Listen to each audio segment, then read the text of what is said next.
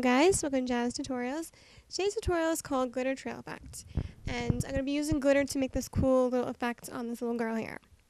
Okay, so I was asked by someone to show more glittery type effects, or tutorials rather, so I figured why not do this one. It's pretty awesome and I know you're going to like it. So I started off with this photo of the little girl here. Um, you can use your own photo, doesn't matter. I made a new layer above her, layer 2. You can name that if you want, but I'm not going to.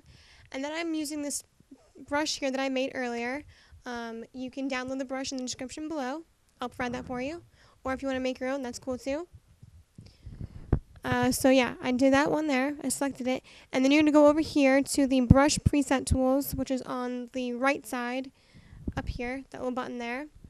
You're going to open this and you're going to select on here.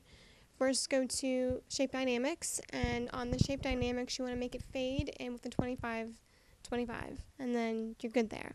Then you're going to click on scatter and change that to 3 for the count and 110 for the scattering thingy. Yeah. Okay. And then you can change your PX size of your brush if you need to. That doesn't really matter. Um, and then for the spacing, make it 50%. Okay? Once you have your brush to your liking, then you're going to make your scatter all the way across, just like that. Awesome! It looks cool now. We're going to make it even better. So with that done on your first layer, layer 2, you're going to duplicate that to make layer 2 copy. Yep. Copy, right there. Okay, with layer 2 copy, you're going to go up to your uh, filter and you're going to select blur. You're going to add a Gaussian blur of 4.0. So put 4.0 and then click OK, and that's what it looks like right now. Okay, now we're going to again duplicate that, layer 2 copy and with the blurred, and then you're to make it into an inner, inner glow, or outer glow, sorry. And with the outer glow settings, change the opacity to 60%. And then you're going to select a random color um, from your image. I'm using the eyedropper tool to select like a pink color.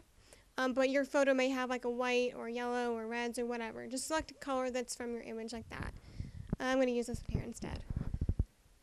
Okay, so I think I'm good there. Look at that. How awesome is that? But we're not done yet. I'm going to make it even better. So, I went down here to the original layer, layer 1, which was the girl layer, and I duplicated her layer to make layer 1 copy. Then I went up here and added a Gaussian blur again with the same settings of 4.0. Yep, right there. Gaussian blur 4.0. And then I just went and changed the layer to overlay, and I got this really awesome effect.